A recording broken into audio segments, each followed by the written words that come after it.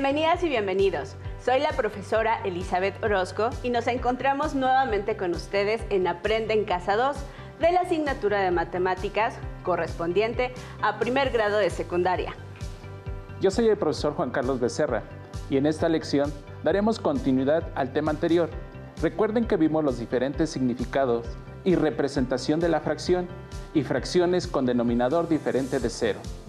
En esta lección analizaremos cómo ubicar números decimales en la recta numérica. Compararemos números decimales entre sí para determinar cuál de ellos es mayor, menor o si son iguales. Y veremos cómo establecer la equivalencia de una fracción común con una fracción decimal. Elizabeth, a propósito de este tema que estudiaremos hoy, fíjate que la última vez que vi a mis alumnas y alumnos noté que la mayoría había crecido mucho en comparación con la estatura que tenían al inicio del ciclo escolar. Sí, es increíble lo rápido que crecen en esta etapa. Seguramente lo han notado. Si no, hagan la prueba de medirse semana a semana y registren las medidas que van obteniendo para que observen cómo van creciendo. Un recurso que pueden utilizar para llevar su registro es el de anotar sus medidas en una recta numérica. Sin embargo, el crecimiento de una semana a otra será apenas de unos milímetros, así que tendrán que aprender a ubicar números decimales en la recta numérica, ya que posiblemente obtendrán medidas como 1.53 metros, 1.71 metros, etc. Vamos a ayudarles a realizar dicho registro de una manera adecuada. Utilizaremos como guía el siguiente video. Para ubicar el número decimal 7 décimos en la recta numérica, se puede seguir el siguiente procedimiento. 1.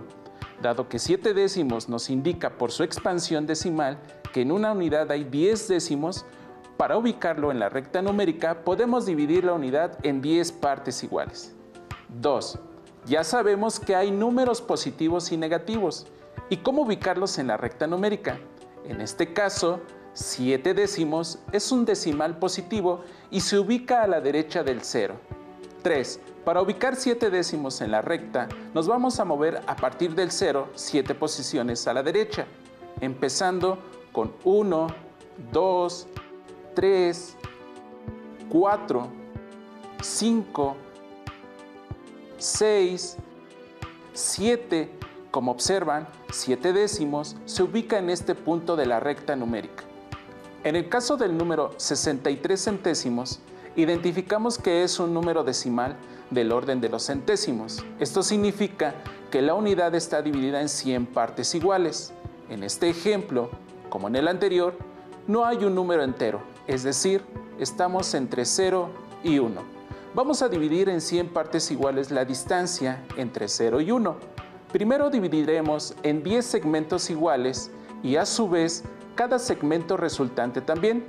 Lo subdividimos en 10 partes iguales. Así que partiendo del 0, tenemos que llegar al 0.63 centésimos, es decir, nos movemos 1, 2, 3, 4, 5, 6 posiciones y ahora hay que prestar atención. 3 centésimos está entre 6 décimos y 7 décimos, es decir, el 0.63 centésimos se encuentra en este lugar.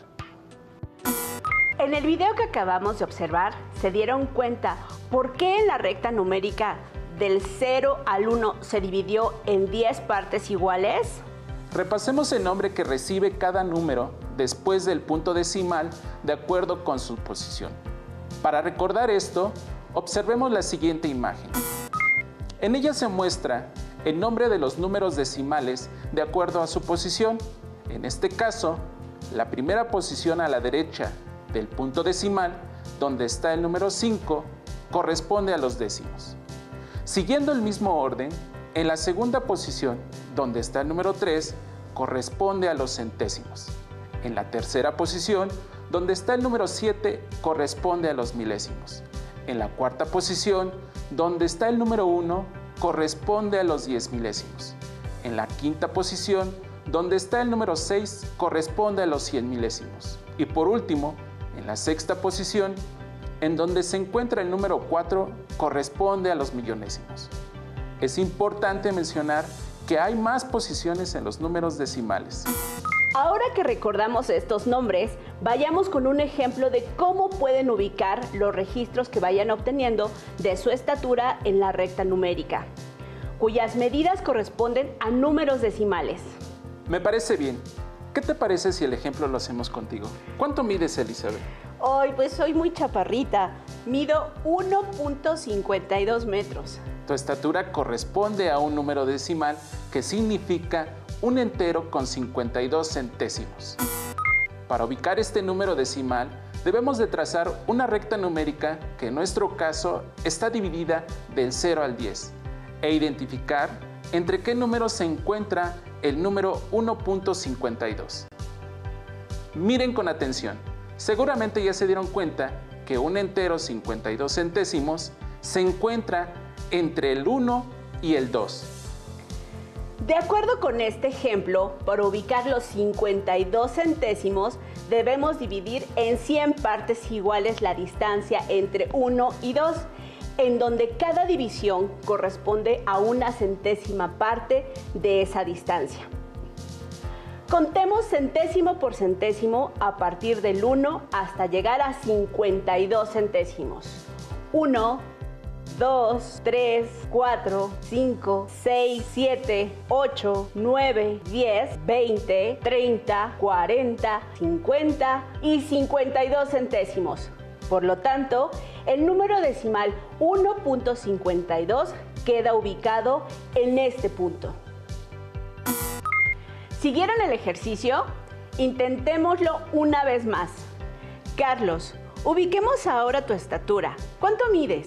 1.73 metros. Perfecto. Usemos la recta numérica para ubicar 1.73 metros. Recuerden que 1.73 es un número decimal, que significa un entero con 73 centésimos. Para ubicar este número en la recta numérica, primero debemos observar entre qué número se encuentra. Al igual que en el ejemplo anterior, un entero con 73 centésimos es mayor que 1, pero menor que 2. Por eso se encuentra entre el 1 y el 2 de la recta numérica. Siguiendo con este ejemplo, por ubicar los 73 centésimos, debemos dividir en 100 partes iguales la distancia que hay del 1 al 2, en donde cada división corresponde a una centésima parte. Contemos centésimo por centésimo a partir de 1 hasta llegar a 73 centésimos. 1, 2, 3, 4, 5, 6, 7, 8, 9, 10, 20, 30, 40, 50, 60, 70 y 73 centésimos.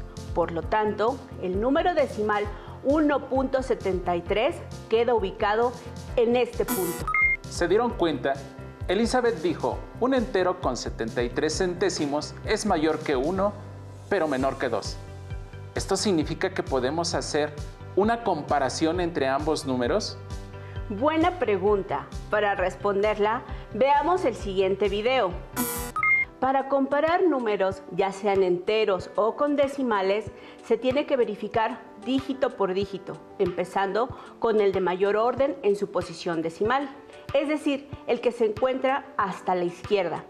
Así es como se puede saber qué número es mayor, menor o igual con respecto a otro. Entonces, en este ejemplo se están comparando los números 1.40 y 1.04.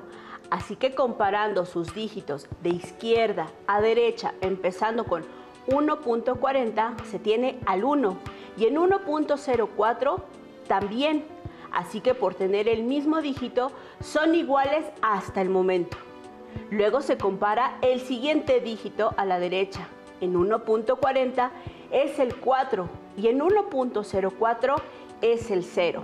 Se sabe que 4 es mayor que 0 y ya encontramos una diferencia entre los dos dígitos que estamos comparando. Entonces, se sabe que 1.40 es mayor que 1.04. Así es, Podemos hacer comparaciones entre números. Por ejemplo, un entero 30 centésimos es mayor que un entero 3 centésimos. ¿Se dieron cuenta que entre los dos números decimales se empleó la frase mayor que para comparar estos dos números? Me parece una excelente observación, porque a esa frase le corresponde un símbolo. Este símbolo que aparece nos sirve para comparar dos cantidades y significa mayor que.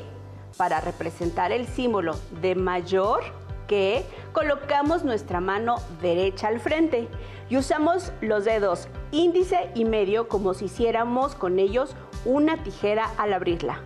Formemos el símbolo, en este caso, la apertura más grande indica el número mayor y la unión de nuestros dedos indica el número menor. Para el símbolo menor que, hacemos exactamente lo mismo, pero con la mano contraria. Con lo que acabamos de ver, ahora realicemos la comparación entre los dos números que ubicamos al principio en nuestra recta numérica, 1.73 metros y 1.52 metros. 1.73 es mayor que 1.52. Elizabeth, ¿qué pasaría si cambiamos el orden de los números y los comparamos nuevamente? Al comparar estos números, el de la izquierda es de menor orden de magnitud con relación al de la derecha. Entonces podemos afirmar que 1.52 es menor que 1.73. Y entonces, ¿Cómo distinguimos que dos números son iguales? Para ello observemos el siguiente video. Vamos a comparar a 0.320 con 0.32. Observemos que la parte entera únicamente tiene un dígito y es 0. Entonces, empezando a comparar dígitos de izquierda a derecha, tenemos a 0 de un lado y 0 del otro lado donde 0 es igual a 0. Luego pasamos a la parte de los decimales. Aquí está el punto decimal y comparando la primera posición a la derecha del punto decimal, se tiene en el primer número un 3 y en el segundo también llegando a otra igualdad. Ahora pasamos a la siguiente posición. En el primer número se tiene un 2 y en el otro también. Así que continuamos con las igualdades entre los dígitos. Finalmente, en la tercera posición del primer número se tiene un dígito 0, pero se observa que en el del segundo número no tenemos dígito. En estos casos hay que agregar un 0 para tener la misma cantidad de dígitos en la parte decimal y así poder comparar los números. Una vez que tengamos nuestra tercera posición decimal en el segundo número, podemos compararlos de nuevo. Llegamos nuevamente a una igualdad, ya que 0 es igual que 0 y se concluye después de comparar todos los dígitos de ambos números que son iguales. Analizando todo lo anterior, podemos concluir que hay tres símbolos que nos permiten comparar dos números. Mayor que, menor que e igual que. Es importante recordarles que al comparar dos números decimales, estos deben tener la misma cantidad de cifras antes y después del punto decimal. En caso contrario, podemos agregar tantos ceros sean necesarios a la izquierda o a la derecha del número. Esto no cambiará su valor. Veamos un ejemplo de nuestra vida cotidiana en el que sin darnos cuenta invariablemente realizamos comparaciones entre cantidades que representan un número decimal. ¿A qué te refieres, Juan Carlos? Sí, les explico. ¿Se han fijado que los productos alimenticios deben de tener una tabla de información nutricional, la cual refiere el valor energético y los nutrientes que contienen, como proteínas, vitaminas, grasas, etc. Entonces, aprovechemos esta información para comparar productos similares y determinar cuál es el que más nos beneficia. Sí, tienes mucha razón. Es algo que yo hago con los jugos de fruta, la leche, el cereal y con otros productos. Veamos juntos un ejemplo.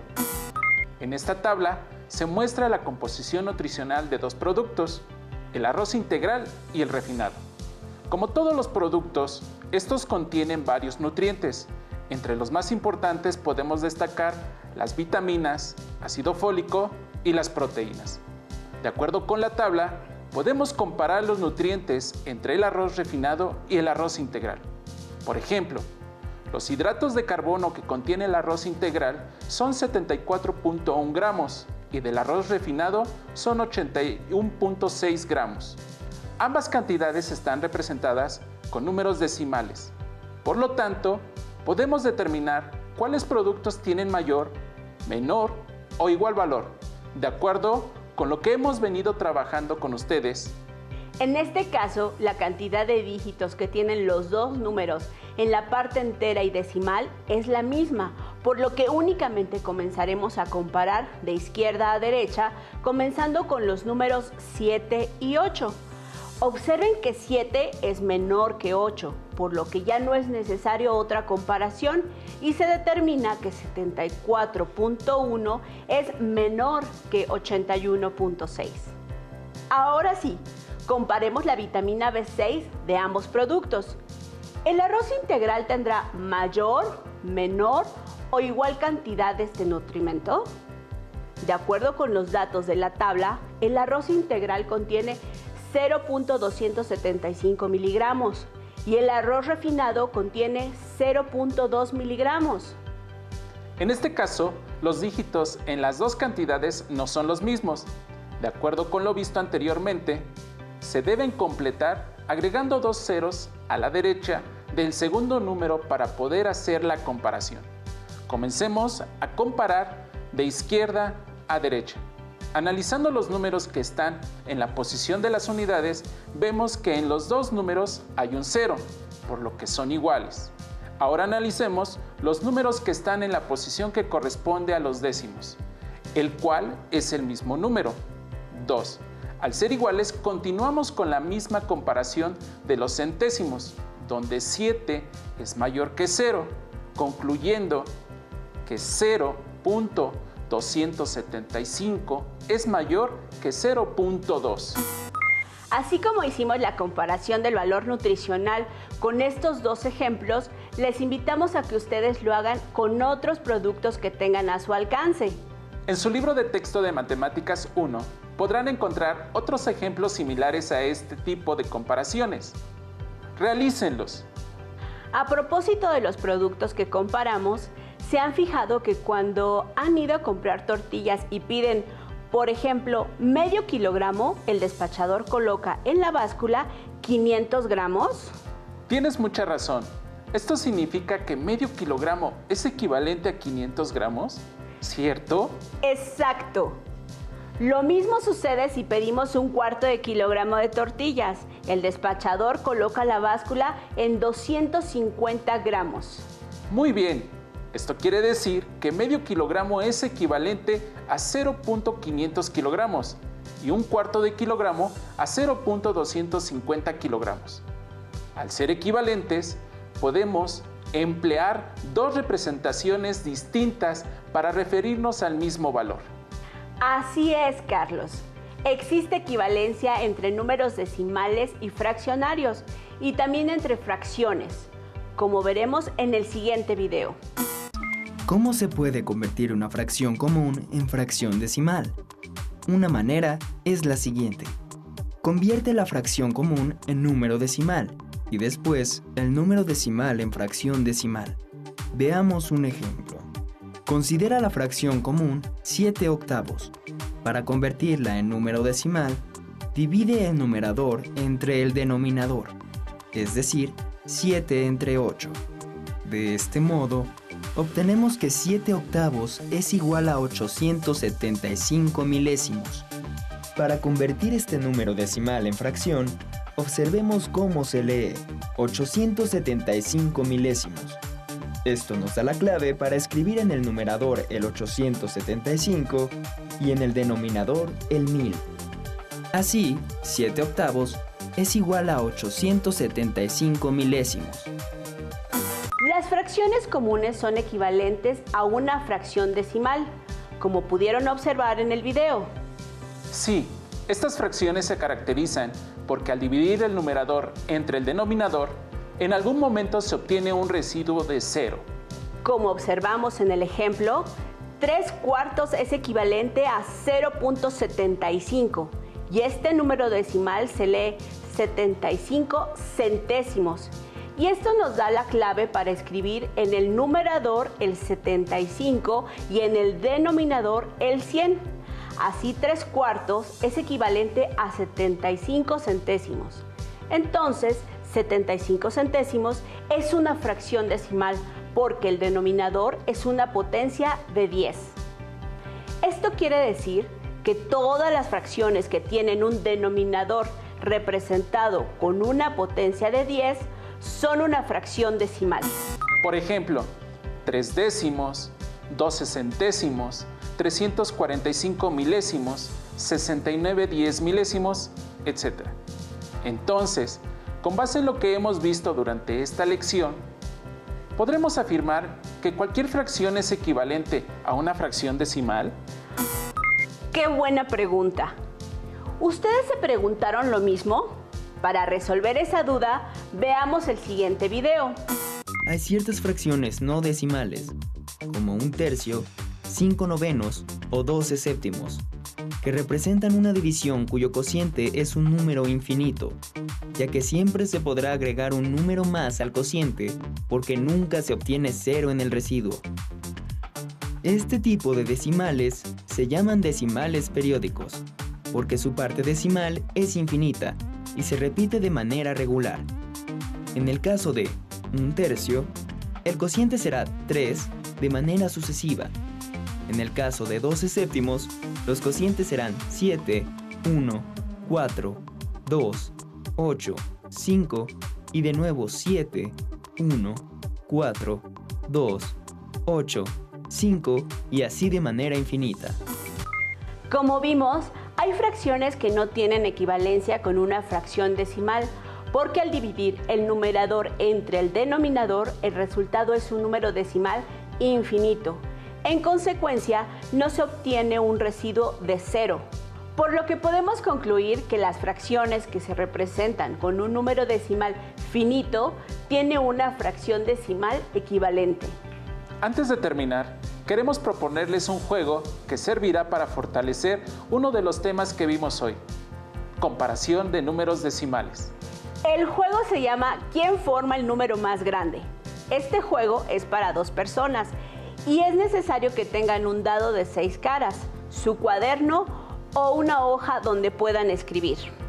Ahí dibujarán con sus colores una tabla similar a la que se muestra en la siguiente imagen en la que podemos observar cuatro columnas y seis renglones. En la primera columna tenemos de la primera a la quinta ronda. En la segunda columna está el primer jugador con sus respectivas rondas. De igual manera, en la tercera columna para el segundo jugador con sus respectivas rondas. Y en la última columna debemos ubicar al ganador de cada jugada.